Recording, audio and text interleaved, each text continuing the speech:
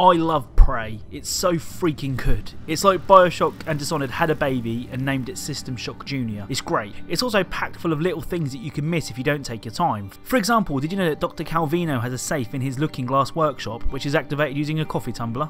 Well, you do now, and here's how you can find it. So, whilst exploring the lab, I read some emails on a computer which hinted that the good doctor was building a pressure plate which could be activated by a coffee tumbler. After looking around and at first ignoring the tumbler, I had my eureka moment, grabbed the tumbler and took it to the hot plate and unlocked his safe. That's why I love this game. You didn't have to find that, there was no objective marker, the game world just feels real. Well, as real as a gigantic space station swarming with shape-shifting aliens can feel. And also, you unlock an achievement for this called Coffee Break, so that's a bonus. If you enjoyed this video, please leave a like, it is really appreciated. Don't forget to check out my Patreon, YouTube is now my full-time job, which is a scary thing to say given that ad revenue is at an all-time low but you only live once. And if ad revenue doesn't increase, that won't be for long. Subscribe to my channel if you haven't already, and don't forget to follow me on Twitter, the link is in the description. Thank you all for watching, and I'll speak to you all very, very soon.